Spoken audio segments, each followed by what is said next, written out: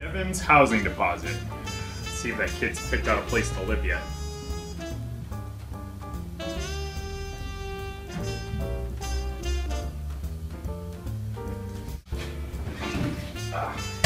There, there just forwarded me that, uh, an email that I found in the step up. Really? How's it look? It was, it was so nice. Yeah. How much it gonna be, guys?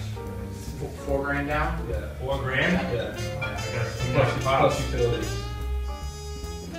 I gotta swing with my dad. He just called. I. You don't te- you text the kid and he answers it in two seconds. And you, you call him and he doesn't. Hi, Devin. This hi, Devin. It's your father.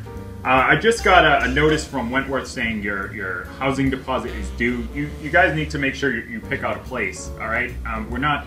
I'm not having that conversation again about about you living off campus. Uh, uh, if I'm paying for school, I, I want you to live on campus. I want you to be safe, and I want you to be close to your classes. All right. So pick somewhere on campus.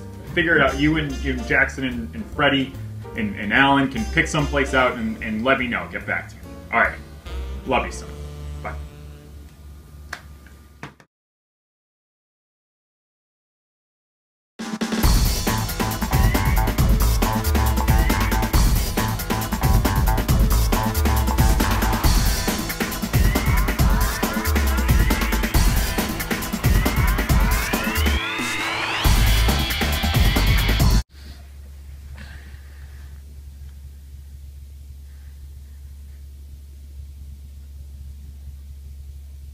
Hey, kid. what? Heard you looking for an apartment. Yeah, yeah, On campus? yeah, yeah. I'm the wizard of the apartments. You should follow me.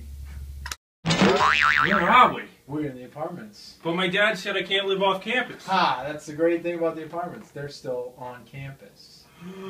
and you could live here next year. Follow way. me. Oh, look who finally showed up. Seriously, wizard, you gotta stop doing this unannounced. Get out of my way. I'm Wait, doing are a we in tour. his room? No, don't worry about it. Oh. You come down the hall. Single bedroom. Another single bedroom. Bathroom. TV room. And finally, your kitchen. And this could be all yours. No way. Yes way. Off campus feel while still being on campus. What do you say? I'll take it.